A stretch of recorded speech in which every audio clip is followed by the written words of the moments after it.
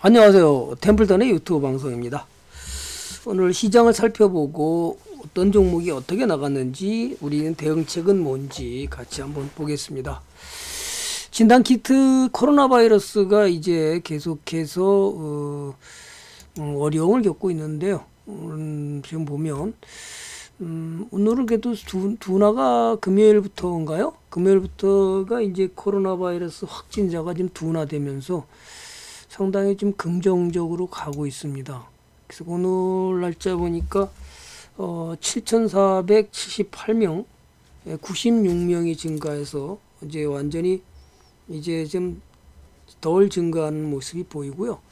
그 다음에 어, 완치가 166명, 그 다음에 사망이 53명으로 늘어나고 있는데요.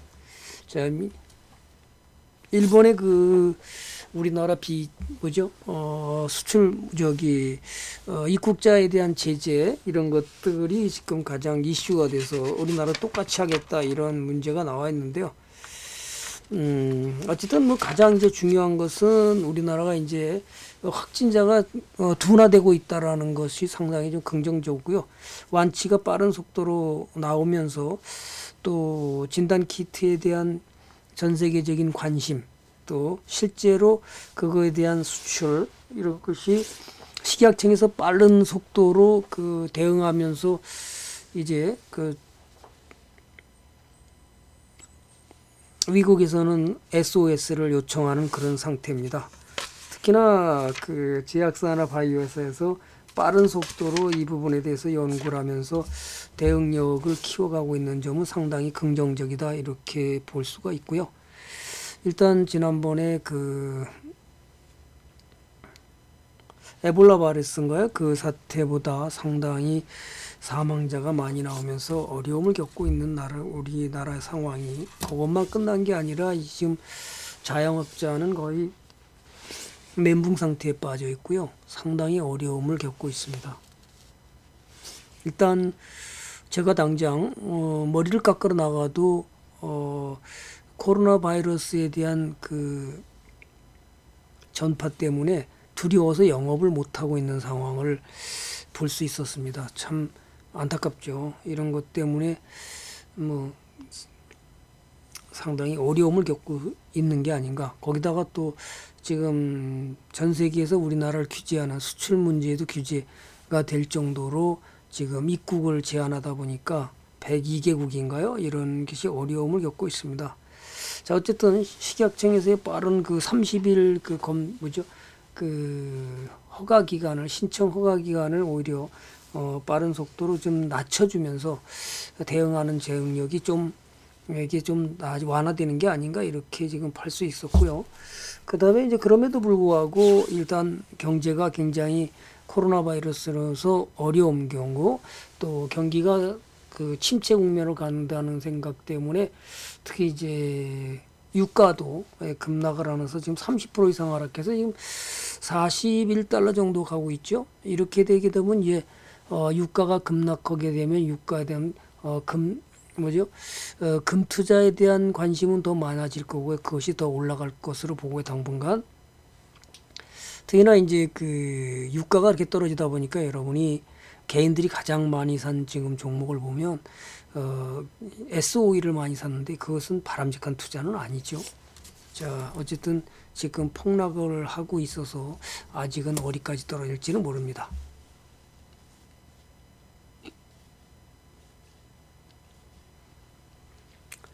그 다음에 또, 또 하나가 이제 그 빠른 속도로 우리나라가 일본의 그, 그 뭐죠? 이 코로나 검사 하루치 검사 건수가 우리는 8천 건이 넘는다고 그래요. 근데 일본의 오늘 사건을 보니까 병원을 전전하면서 진료를 여덟 번의 검사받고 확진을 받았는데 이로 인해서 그 코로나 바이러스가 여기저기 아마 말을 하면서 그 병원을 전전했다면 더 많은 속도로 아마 번지지 않았을까 추정해 볼 수가 있죠. 사실은 오히려 일본이 더 큰 문제가 아닌가. 우리나라가 지금 이란, 이란요? 우리나라 지금 중국 다음에 두 번째, 그 다음에 이란, 이, 이탈리아, 이란 이런 식으로 지금 나가고 있지만 중국과 지금 북한이 더 어렵지 않을, 어렵, 중 북한과 일본이 더 어렵지 않을까 이렇게 그냥 추정을 해볼 수 있습니다. 자 어쨌든 음, 오늘 보면 외국인들이 대폭 그죠 매도로 역사상 최고 매도를 했죠. 자 한번 보실까요? 음, 매매 종합이 오늘이 3월 9일이니까 1조 3천억 역대 최고의 매도를 했나요? 그러므로 인해서 음, 개인들이 지금 1조 2천억을 갖다 7, 2,799억을 매수하면서 지수를 방어했음에도 불구하고 지수는 많이 떨어졌죠. 네. 상당히 많이 떨어져서 예, 85포인트가 역대 지금 최, 어, 최근 들어와서 최저점을 찍었죠. 자 보시면 음, 자 그렇다고 해서 우리가 다 팔고 도망가야 되느냐? 저는 그걸 반대합니다. 그렇죠? 어쨌든 신저점을 깼기 때문에 자 가장 이제 문제되는 게 지난번에도 예, 말씀을 드렸지만 이것이 어디까지 떨어질지는 모른다. 뭐 전문가들이 나와서 뭐 전저점 뭐 120일선은 지지할 거다. 뭐 그다음에 전저점은 지지할 거다. 뭐 이런 얘기 계속해서 나오는데 그거보다 더 중요한 게 뭐죠? 여러분이 종목을 어떻게 가져갔나가 더 중요한 거예요. 지수를 어디까지 예측, 지수와 그 다음에 사원 시, 시황이 중요한 건 아니에요. 자, 어떻게 내가 포트를 짜고 갔느냐가 더 중요하다고 저는 그렇게 보는 겁니다.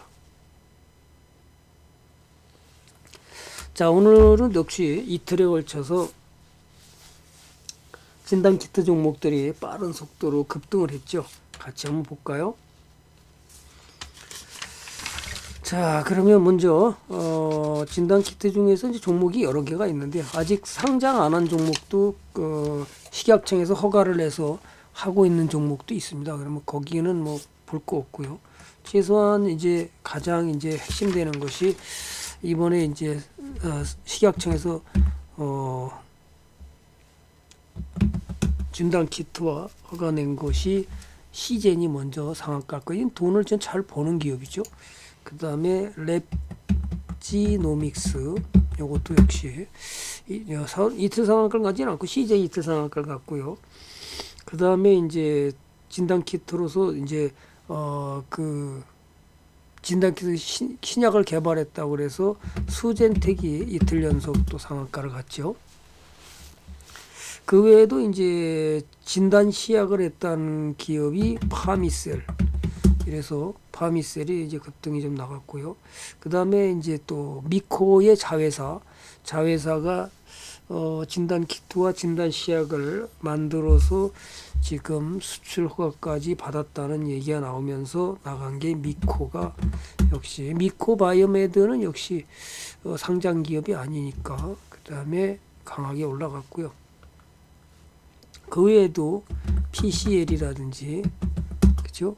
그다음에 어 ED EDGC 예, 여기도 있고요.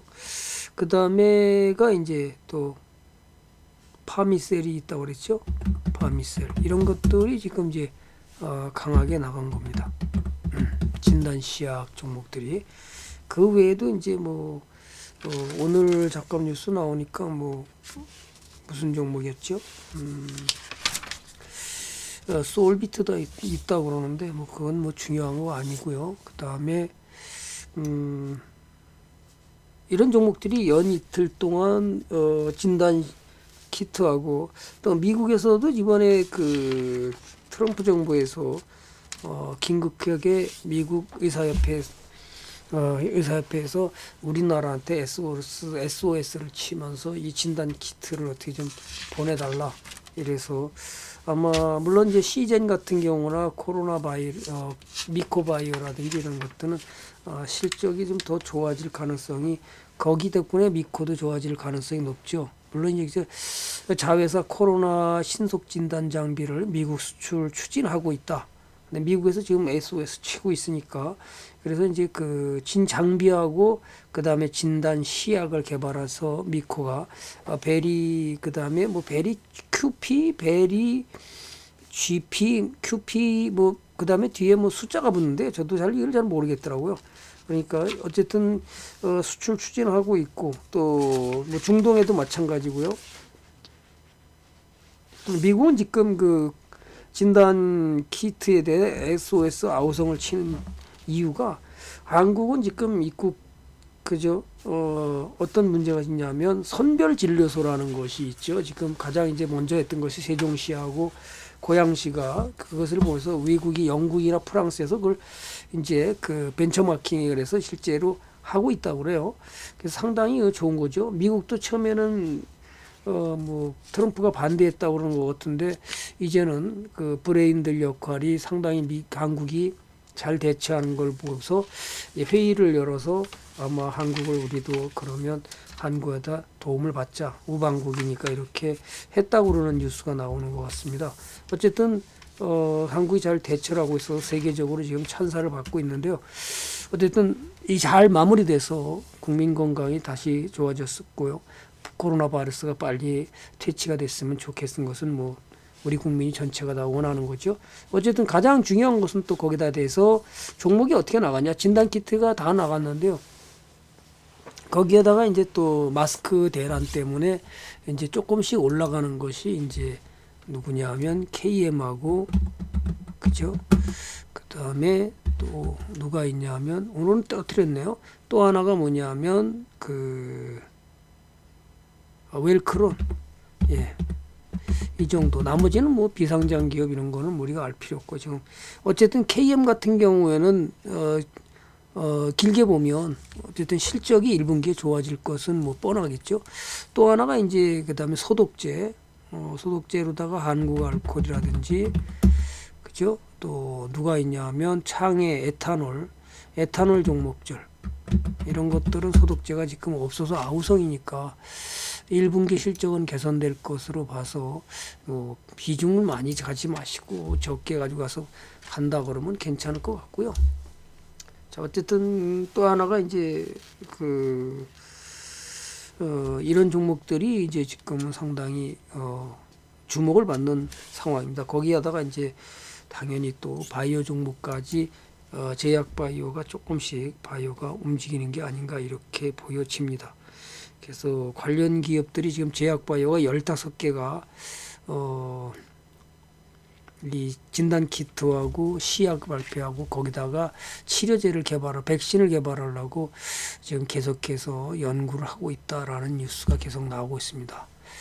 또 하나가 이제 3월 달에 되면 이제 가장 문제가 되는 것이 바로 감사 의견 어, 기업에 대한 재무 보고서, 재무 재무 보고서에 대한 사업 보고서 제출한 거에 대한 어, 감사 의견 거절 속출하면서 이제 상장 폐지가 네 달 만에도 이제 스물세 곳이 상장 폐지된다.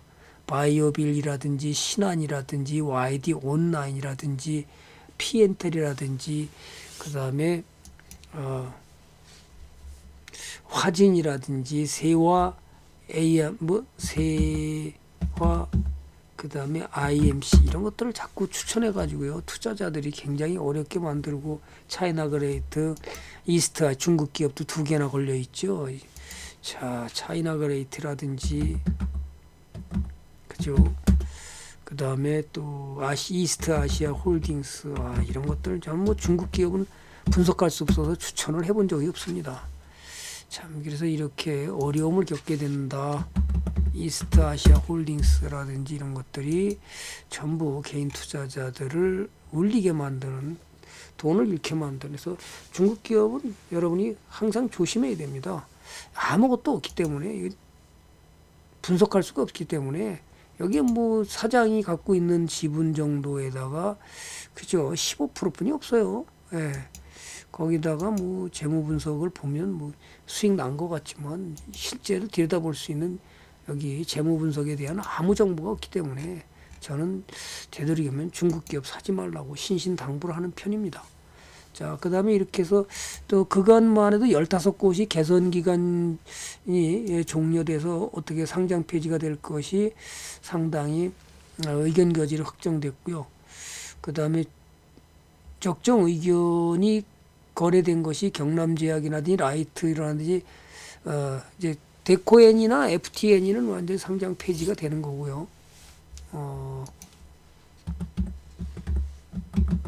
이런 것들을 지금 이게 데코 N이 예, 없어졌죠. 결정으로 상장 폐지가 됐고요. 항상 그래서 어, 가장 중요한 것은요. 어, 뭐냐 하면 이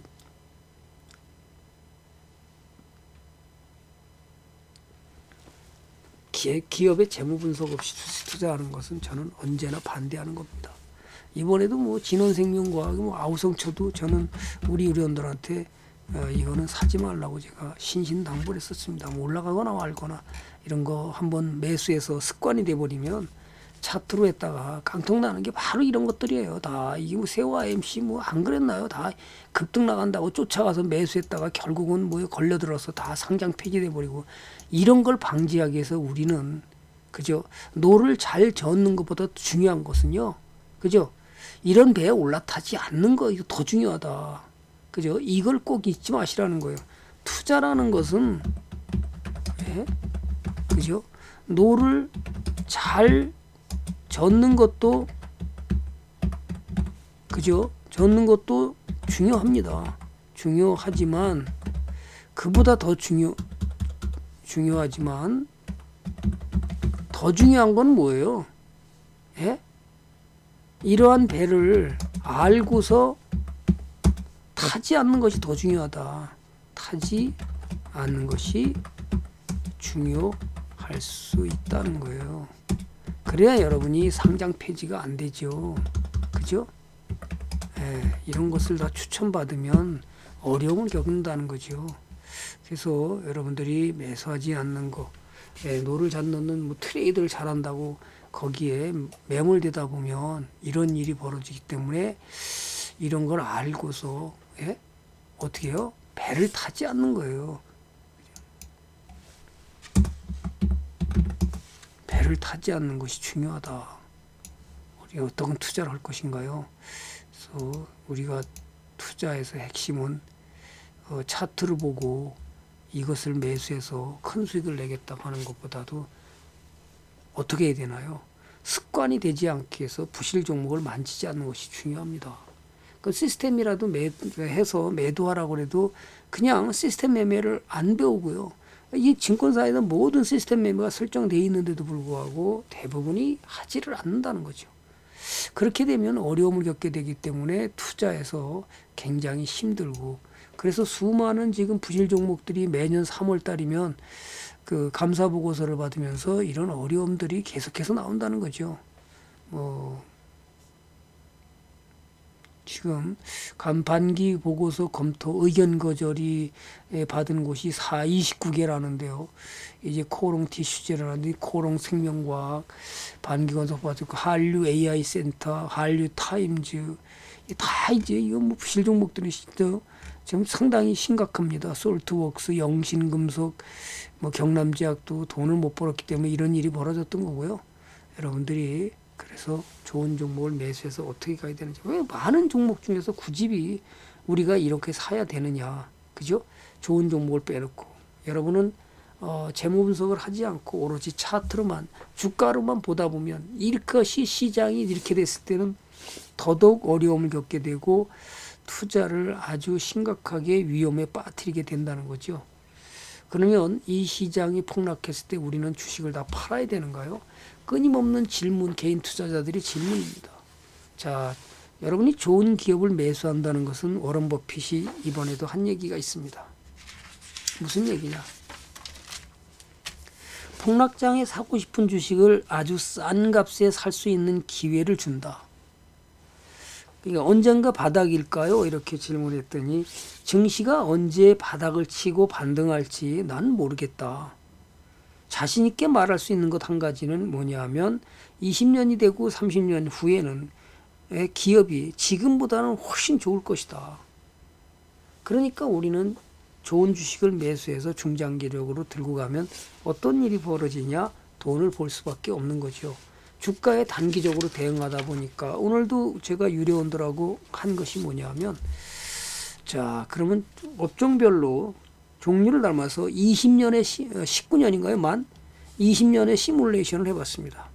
삼성전자 20년 2000년부터 지금까지 2020년까지 20년 그랬더니 840% 현대차가 예 20년 462% 포스코가 21% 기업은행이 41% 롯데케미칼이 929% 현대건설이 마이너스 70% 유한양이 1516% KT가 마이너스 66% 신세계가 603% 농심이 410% 자, 20년 동안 그렇습니다. 자, 이것을 평균 내봤더니 1년에 234%씩 수익을 주면서 총 그는 8,300 아니요. 4,331%니까 20년을 나누면 어떻게 되나요? 그죠? 거기다가 마이너스를 뺐더니 4,595%입니다. 그죠? 그러면 연 수익률이 1년마다 234%씩 수익을 줘서 어떤 일이 벌어지나요? 돈 벌고 부자 되는데 아무 지장 없는데도 불구하고 부실 종목 매수하고 아우성 치고요. 포트폴리오 짜고 가라면 다 같은 종목에다가 포트를 짜가지고 업종이 같은 종목을 전부 짜가지고 어떻게 됐죠?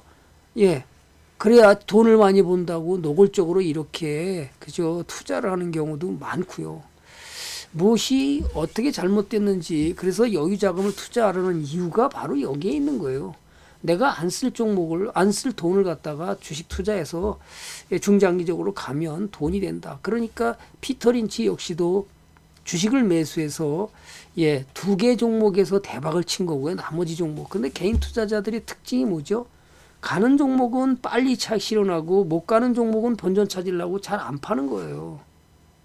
그러면 차라리 좋은 종목이 어떤 것인지를 배우고 기업을 분석해서 좋은 종목이 앞으로도 펀더멘털이 좋을 거 그게 더 중요한 거예요. 지금 더 지표라든지 그 다음에 뭐 차트라든지 이런 것보다도 더 중요하고 주가보다 더 중요한 건 뭐죠? 앞으로 이 기업이 성장을 하고 펀드가 더 좋을 가능성이 성장 가치가 있는 가능성이 어떤 것이 더 중요하냐? 오늘 워런 버핏 얘기를 잠깐 할까요?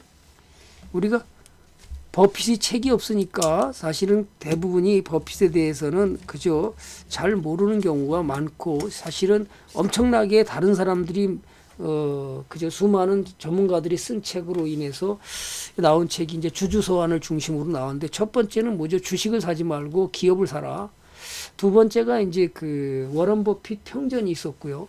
세 번째가 이제 어 주주 소환이라는 책이 나왔고요. 네 번째가 이제 워런 버핏 바이블이라고 최근에 나온 책인데요. 그런 것들을 하나같이 보면 워런 버핏이 하는 얘기는 딱 뭐냐 하면 아, 좋아하는 게 첫 번째가 뭐냐면 현금 흐름, 두 번째가 이제 기업의 지속적인 동반 여부, 세 번째가 자산의 실질적인 현금 창출 능력, 네 번째가 자기 자본 이익률이 15% 이상. 여러분이 이걸 잘 보면요. 템플턴이 강조하는 얘기하고 똑같지요. 자, 첫 번째가 현금 흐름이 좋다라는 것은 기업의 재고 재산이나 그죠? 또는 채권이 외상값을 낸 채권이 어떻게 돌아오냐에 따라서 현금 흐름이 좋을지 나쁠지가 나타나기 때문에 현금 흐름은 굉장히 중요하다는 거고요. 두 번째, 기업의 이익이 지속적인 동반 여부, 기업의 이익이 지속적으로 동반한다라는 것은 그것은 수익 가치가 점점 커진다는 얘기고요. 세, 두, 그 다음에 어, 네 번째 본 자기 자본 이익률 ROE가 15% 이상 그 얘기는 뭐냐면 성장 가치가 꾸준하다는 거죠. 그래서 17% 이상이라면 금상첨화다라는 얘기를 했었고요. 이게 뭐죠? 성장 가치입니다. 그 다음에 이제 세 번, 세 번째 아까 했던 자산의 실제적 현금 창출 능력. 다시 말해서 돈을 잘 벌고 무형재산이든 유형재산이든 기업이 많이 갖고 있다라는 것은 뭐죠? 다시 말해서 자산 가치가 커지는 기업이다. 그러니까 민병기 교수가 개인 투자자들이 그것을 하기 위해서는 자산 가치가 커지는 기업을 사서 매수해서 들고 가면 틀림없이 부자가 될 것인데 그것을 분석은 안 하고 주가로만 보다 보니까 투자를 엉망으로 하는 경우가 너무 많다.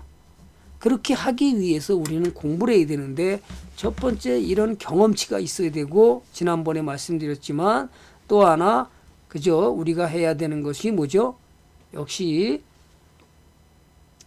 기업에 대한 분석을 재무 분석을 통하고요. 어, 세 번째 기업이 어떤 식으로 어떻게 커나가는지를 여러분이 보고 그 다음에 공부를 해서 여러분이 배짱과 인내심이 갖고 갔을 때 결국은 돈을 벌고 다 시장이 과거의 역사를 보면 끊임없이 여러분을 흔들고 갔어도 결국은 장기적으로 제가 20년 오늘 시뮬레이션을 해봤어도 역시 돈을 번다는 거예요. 그런데 돈을 못 버는 이유는 도대체 뭐냐라는 거죠. 그죠? 그렇게 가져가지 못하고 어떤 일을 벌렸죠? 부실 기업을 사서 차트로 대응한다고 급등 좀 앉으다가 깡통 나는 경우가 수두룩하고요. 이것을 올바른 가치 투자를 해야 되는데 올바른 가치 투자를 가르치는 전문가는 거의 없고 주로 뭐냐 하면 차트로다가 뭐 급등주 상한가 여기에 온통 매몰되다 보니까 여러분이 동업하지 못하는 겁니다. 자, 오늘도 저는 이 힘든 장에 여러분이 잘 이겨내기 위해서는 정석으로 가는 길을 또 끊임없이 얘기합니다. 좋은 정보를 가서 그래서 많은 또 전문가들이 무슨 121선 기법에다가 무슨 뭐 신가치 투자라는 뭐 주가가 하락해서 바닥이니까 뭐 우리는 신가치 투자라든지 이런 것들은 다 오류가 되는 거예요. 왜 오류가 되느냐? 아까 워런 버핏이 얘기한 얘기하고 그 다음에 수익 가치, 성장 가치, 자산 가치가 커지는 기업을 매수하면 여러분은 틀림없이 돈 버는 사실은 장기적으로 돈 벌 수밖에 없는 것이 이것이 진정한 가치 투자라는 것을 잊지 마시고요. 오늘도 힘들고 어려운 장에 잘 이겨내서 수익으로 커지는 그런 행복한 투자를 하시기 바랍니다. 이것이 여러분들이 가져가야 될 행복 투자라는 겁니다. 수많은 전문가들이 이런 얘기는 안 하고 거의 다 뭐죠 급등 상한가 차트가 어땠고 뭐가 어떻게 돼서 양음양 패턴이 어떻게 나와서 이게 앞으로 어떻게 될 거고 그 다음에 포트폴리오를 짜라 그러면 그저 예, 업종별로 짜야 되는데 업종은 다 무시해보고 업종과 시가 총액 기준으로 골고루 짜야 되는데 어떤 식으로 하냐면 뭐 업종을 몰빵시킨다든지 그죠 잘못된 투자 PBR이 3이면 비싸다든지 가장 가장 바보 같은 짓이 뭐냐면 어, 버핏이 뭐라고 그러죠? 아니 피터 린치가 제가 이 구절 하나 마무, 마무리하고 갈게요. 뭐라고 그러냐면 이런 얘기를 하죠. 어, 주가가 이미 그죠 최근에 두 배, 세 배, 네 배씩 급등했다는 이유만으로 뭐죠? 이유만으로 어떤 주식에 투자하지 않는 것은 크게 실수하는 것이다. 잠재력이 있는 주식이라면 과거에 어떻든 지금 바로 여기에 집중하는 것이 이전에 어떤 일이었는지 아무런 상관이 없다.